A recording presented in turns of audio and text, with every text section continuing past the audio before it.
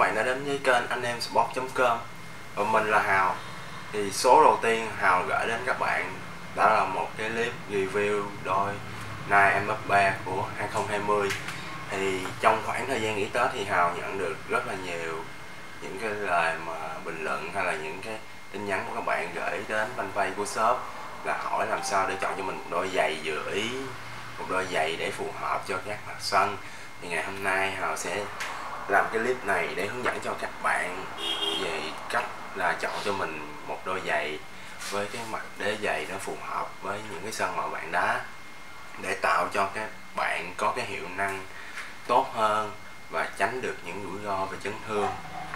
Thì các bạn cũng đã biết là giày thể thao chúng ta sẽ chia thành 5 loại đế TF FG AG SG và cuối cùng là đế EC là đế giày futsal đó các bạn. Thì ở Việt Nam cũng có bốn loại mặt sân. Là sân cỏ nhân tạo, sân cỏ tự nhiên, sân đất, và cuối cùng là sân futsal thì đầu tiên để chọn được một loại đế giày thì chúng ta chọn theo loại mặt sân nha các bạn. Đầu tiên là sân cỏ nhân tạo. Thì có hai loại đế phù hợp với cỏ nhân tạo, là đế TF và đế AG TF tên đầy đủ là túp floor hay còn gọi là giày đinh nhâm. Thì loại giày này các bạn được sử dụng trong những buổi tập luyện nhẹ nhàng. Thì các bạn thường sử dụng loại giày, đế giày này. Đinh của giày TF thì thường được làm bằng nhựa hoặc cao su. Riêng về Adidas và Nike thì 100% hoàn toàn là cao su. Hoặc nó chứa cả hai chất liệu này trong đó.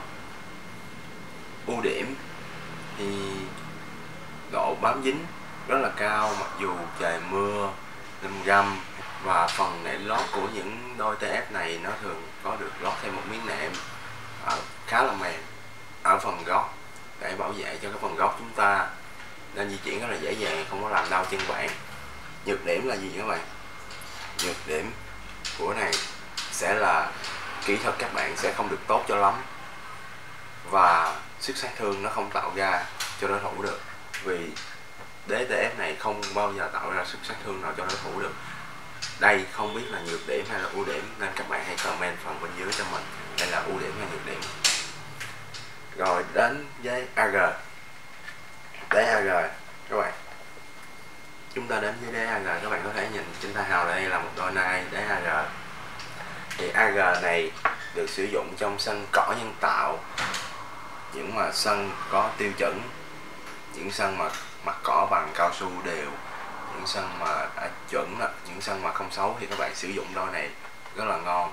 Nhưng còn ở Việt Nam có những sân mà đã bị phân hủy theo thời gian, nó quá trình, nó bị nhám nham rồi giống như phần trên hào đã nói, thì các bạn sử dụng giày này các bạn phải cẩn thận, vì nếu mà không cẩn thận các bạn sẽ có dễ bị chấn thương, xảy ra chặt mắt cá, chân, vân vân. Thì về ưu điểm của nó. Độ kết dính bám sân rất là cao, nhìn rất là hầm hố, nhìn cái phần đế các bạn nhìn có thể thấy nó là phần nhựa, nhìn rất hầm hố, rất là cứng, đế thường xài đinh tròn trừ đá ra các bạn Adidas thì mấy dòng gần đây của Adidas thì nó thường sử dụng là đế hình tam giác, cao hơn đế TF nhưng chưa bằng đế FG và G độ bám dính là ưu điểm rồi. Nhìn hầm hố gấu. Đó là ưu điểm của nó. Sức, sát thương thì tạo ra vô cùng cao. Các bạn sử dụng nhiều, các bạn sẽ biết rồi. Còn phần nhược điểm nhược điểm là khi cái đế lót của thằng nai, viên về nai đó, các bạn lột lên, các bạn sẽ không có cái phần bảo vệ gót chân. Nó sẽ làm đau chân của bạn. Thì cái phần đế này nó làm được bằng nhựa cứng. Chỉ thích hợp cho những cái sân mà, sân lớn. Rồi đến một phần cuối cùng đối với những sân cỏ mà mỏng rồi, những sân mà cỏ nó tàn qua lá liễu hết trơn, thì các bạn sử dụng cái đôi này á, cái đế AG này á, các bạn có cảm giác giống như các bạn đang đi trên một đôi guốc nữa. Nó không có cái độ mượt lắm. Đó là cảm nhận riêng của mình. Còn cảm nhận của bạn thế nào thì các bạn comment bên dưới cho mình nha. Đến với sân cỏ tự nhiên, chúng ta cũng có hai dòng. Đó là dòng FG và dòng SG thì đầu tiên chúng ta đến với dòng FG trước. Nó là film round tên gọi đầy đủ nó là dày đinh liền. Thì dày đinh liền, nó sử dụng cho sân cỏ thật. Những sân mà cỏ dài trên 10 mi.